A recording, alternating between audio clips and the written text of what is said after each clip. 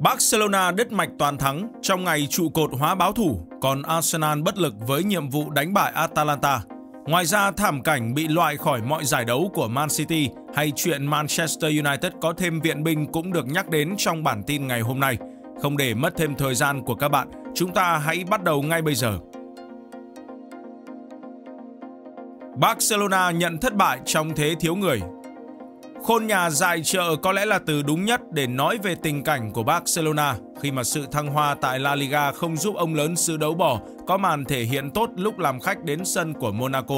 Ngay phút thứ 10, thủ môn Ter Stegen đã có pha chuyền bóng rất ẩu khiến Eric Garcia buộc phải phạm lỗi nguy hiểm với cầu thủ đội bạn. Tấm thẻ đỏ xuất hiện ngay lập tức và ngôi sao người Tây Ban Nha rời sân trong sự ngỡ ngàng của các cổ động viên. Không lâu sau đó, Monaco đã tận dụng lợi thế hơn người để ghi bàn và tăng thêm khó khăn cho Blaugrana.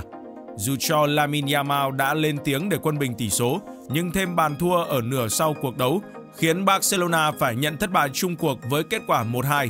Rõ ràng huấn luyện viên Hansi Flick còn rất nhiều việc phải làm để giúp đội chủ sân Camp Nou chạm tay vào chiếc cúp tai voi sau thời gian dài thi đấu thất vọng ở đấu trường châu Âu.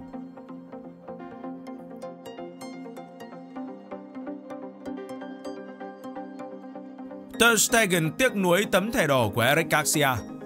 Dù Eric Garcia là người bị đuổi khỏi sân, nhưng nhiều cổ động viên cũng chê trách thủ môn Ter Stegen với đường truyền đặt đồng đội vào thế rất khó xử lý. Tuy nhiên, trụ cột của Blaugrana lại có một góc nhìn khác khi tuyên bố đã có sự hiểu lầm với Eric Garcia và tôi cảm thấy tiếc cho cậu ấy. Chúng tôi phải chơi 80 phút với 10 người và đội bóng cảm thấy xấu hổ khi không kiếm được điểm nào ngày hôm nay. Arsenal bế tắc trước Atalanta hành quân đến sân của Atalanta trong bối cảnh thiếu vắng đội trưởng Martin Odegaard và Arsenal đã cho thấy sự chạch choạc nhất định trong lối chơi. Là bên cầm bóng cũng như dứt điểm ít hơn đối thủ, ông lớn Premier League không thể phá lưới đội chủ nhà suốt 90 phút. Ở chiều đối diện, các chân sút của Atalanta cũng chơi vô cùng bế tắc nên hai bên đã chia điểm với tỷ số không đều. Bayer Leverkusen thị uy sức mạnh Trái ngược với sự thiếu hiệu quả trên mặt tấn công của Arsenal cùng với Atalanta chính là màn trình diễn thăng hoa của Bayer Leverkusen trước Feyenoord. Được biết, đại diện nước Đức chỉ cần một hiệp đấu để nghiền nát đại diện Hà Lan nhờ vào cú đúp của Florian Wirtz và lập công từ Alex Grimando cùng với một tình huống mà đội bạn phản lưới nhà. Ở chiều đối diện, Feyenoord vô vọng trong việc ghi bàn danh dự nên chấp nhận thảm bại với tỷ số 0-4. Cập nhật vừa nêu giúp Bayer Leverkusen leo lên đứng vị trí thứ ba trên bảng xếp hạng sau lượt đấu đầu tiên khi chỉ chịu đứng dưới Bayern Munich và Celtic. Manchester United quan tâm tân binh tuyển Anh. Cái tên Angel Gomez đã được giới truyền thông biết đến nhiều hơn sau khi ra mắt đội tuyển Anh ở cuộc đụng độ Phần Lan trong loạt trận Nations League. Hiện tại thì cầu thủ 24 tuổi đang chơi bóng tại League 1 nhưng nhiều câu lạc bộ tại Premier League đang muốn đưa tuyển thủ tam sư hồi hương ngay trong phiên chợ đông. Manchester United cũng nằm trong số đó và huấn luyện viên Erik ten Hag đã cử tuyển trạch viên đi theo dõi màn trình diễn của Angel Gomez trong các cuộc đấu gần đây. Vì vậy, khả năng đội chủ sân Old Trafford đưa ra những lời đề nghị ngay trong thời gian tới là rất cao. Rasmus Højlund và Mason Mount có thể ra sân cuối tuần này. Được nhìn thấy trên sân tập của Manchester United và Rasmus Højlund cùng với Mason Mount có thể ra sân ngay cuối tuần này cho Quỷ Đỏ.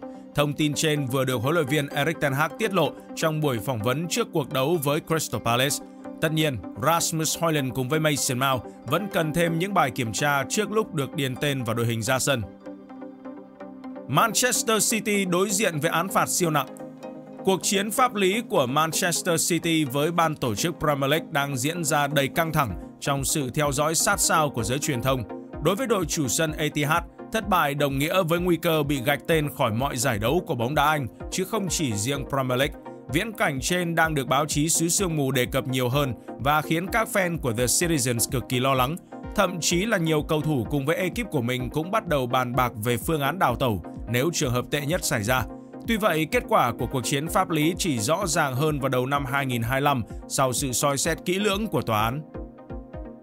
Chelsea lập danh sách cần thanh lý Việc chi tiêu mạnh tay ở nhiều kỳ chuyển nhượng liên tiếp tạo ra cuộc khủng hoảng thừa ở Chelsea về tình hình nhân sự. Do vậy, đại diện thành London đã bắt đầu lập ra danh sách những cái tên cần đẩy đi vào phiên chợ đông. Nổi bật trong số này là bộ đôi Mikhailo Mudryk cùng với Ben Chilwell khi họ đều gặp khó với nhiệm vụ tạo ấn tượng với huấn luyện viên Enzo Maresca.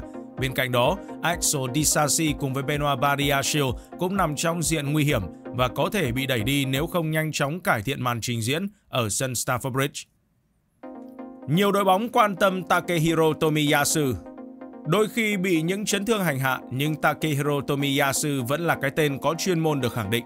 Theo tờ The Sun, ba đội bóng tại Serie là Inter Milan, Napoli và Juventus đều dành sự quan tâm đến ngôi sao người Nhật Bản. Vì vậy, vẫn có xác suất nhất định về việc cầu thủ xứ Phù Tang có thể chia tay Arsenal ngay trong phiên chợ đông. Manchester United sắp đập bỏ Old Trafford trong kế hoạch ban đầu của Sir Jim Ratcliffe khi xây sân vận động mới cho Manchester United, thì Old Trafford vẫn được giữ lại nhưng cần giảm sức chứa để phù hợp với các cuộc đấu của đội nữ cũng như lứa trẻ quỷ đỏ. Thế nhưng hoạt động trên lại phát sinh rất nhiều chi phí và nó khiến cho ông lớn Premier League buộc phải cân nhắc. Theo đó, nếu thực sự một thánh địa mới được Manchester United xây dựng, họ sẽ tiến hành đập bỏ Old Trafford huyền thoại như phương án tối ưu nhất về mặt kinh tế. Inter Milan từng ở gần việc chiêu mộ Erling Haaland. Erling Haaland vừa xuất hiện trong cuộc đấu với Inter Milan và tạo ra không ít khó khăn cho đại diện nước Ý. Thế nhưng ít người biết Nerazzurri từng suýt chút nữa chiêu mộ tiền đạo Bắc Âu khi cầu thủ này 15 tuổi. Thông tin trên được chính chủ tịch Giuseppe Marotta tiết lộ, nhưng sau đó thì các vấn đề từ nội bộ của Inter khiến cho thương vụ này không thể hoàn thành. Cập nhật vừa nêu chắc chắn khiến cho các fan của đội chủ sân Giuseppe Meazza không khỏi tiếc nuối khi Erling Haaland hiện là một trong những chân sút đáng sợ nhất châu Âu. Jude Bellingham sắp quay lại đá số 10. Sự khốc liệt về lịch thi đấu cũng như tình hình chấn thương tại Real Madrid khiến cho huấn luyện viên Carlo Ancelotti cân nhắc tinh chỉnh lối chơi của kênh kiến trắng. Cụ thể, sơ đồ 442 với Jude Bellingham đá ở vị trí số 10 có thể được sử dụng trong những cuộc đại chiến thời gian tới. Đây không phải là thử thách khó nhằn với tuyển thủ tam sư khi mà cựu sao Borussia Dortmund đảm nhận tốt nhiều vai trò kể từ khi cập bến sân Bernabeu. Raheem Sterling đi vào lịch sử Champions League. Dù Arsenal không được hưởng niềm vui vào đêm qua, nhưng một ngôi sao của pháo thủ là Raheem Sterling có quyền tự hào với thống kê vô tiền khoáng hậu của mình. Cụ thể, chân trải cánh xứ sương mù là cầu thủ đầu tiên trong lịch sử Champions League chơi cho bốn đội bóng Anh khác nhau. Được biết, Raheem Sterling từng cống hiến cho Liverpool, Man City, Chelsea và bây giờ là Arsenal trong sự nghiệp của mình, nhưng chưa từng lên ngôi ở đấu trường châu Âu. Do vậy, chinh phục chiếc cúp tai voi cùng với pháo thủ sẽ là mục tiêu được ngôi sao sinh năm 1994 nhắm đến. Bayern Munich từng đạt thỏa thuận với Jonathan Tah. Vào phiên chợ hè thì Bayern Munich đã dành rất nhiều tâm sức để theo đuổi trung vệ Jonathan Tah của Bayer Leverkusen. Theo tiết lộ từ truyền thông, ngôi sao người Đức đã chốt xong bản giao kèo cùng với hùng xám xứ Bavaria và chỉ còn đợi các câu lạc bộ thống nhất về mức phí chuyển nhượng là chính thức chuyển đến Allianz Arena. Tuy vậy thì Bayern Munich cùng với Bayer Leverkusen lại bế tắc trong các cuộc đàm phán, thế nên thương vụ chẳng thể hoàn thành. Vì thế, Jonathan Sa tiếp tục gắn bó với nhà đương kim vô địch Bundesliga nhưng đang hướng đến việc ra đi theo dạng chuyển nhượng tự do vào mùa hè năm sau. Atletico Madrid có thể bị các doanh nhân Tây Á thâu tóm. Với túi tiền không đáy thì các doanh nhân ở Ả Rập Xê Út đã tạo ra ảnh hưởng không nhỏ đến làng túc cầu trong vài năm qua. Thậm chí một vài tỷ phú Trung Đông còn đang cân nhắc thâu tóm Atletico Madrid nếu các cổ đông lớn của Los Rojiblancos quyết định thoái lui. Nếu viễn cảnh trên xảy ra, cục diện bóng đá Tây Ban Nha sẽ trở nên cực kỳ hấp dẫn khi Barcelona cùng với Real Madrid đang có những chuyển động vô cùng tích cực. Trên đây là những tin tức nóng hổi nhất của thế giới bóng đá trong 24 giờ qua. Lượt đấu đầu tiên của Champions League đã đi qua và giờ là thời điểm các đội bóng chuẩn bị cho loạt trận tại giải vô địch quốc gia. Do vậy đừng quên quay lại đây vào ngày mai để biết được những cập nhật nóng nhất về nhiều câu lạc bộ tên tuổi. Còn bây giờ thì xin chào và chúc mọi người có ngày mới thật hứng khởi và nhiều niềm vui.